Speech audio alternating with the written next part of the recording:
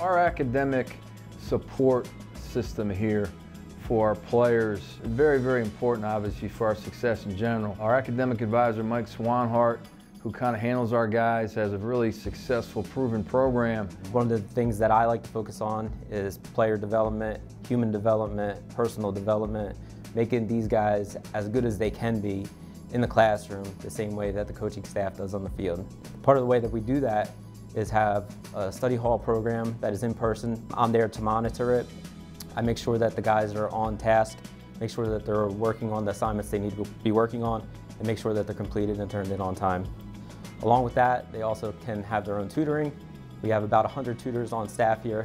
I would say that the majority of our student athletes that get tutoring help are the ones that want to be the best in the classroom. It's not necessarily the kid that is going to fail a class or get a D in a class. Some of the kids are kids that have A's and want A pluses, or have B's and want to stay on honor roll or Dean's list.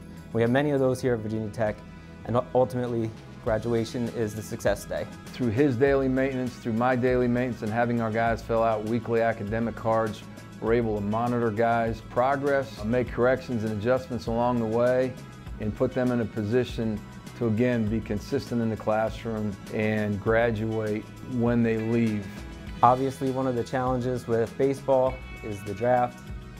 Students leaving after junior year at Virginia Tech, we try to get them as close to graduation at junior year so that way they have minimal classes to take when they come back. I also work with those students to make sure that they graduate when they come back.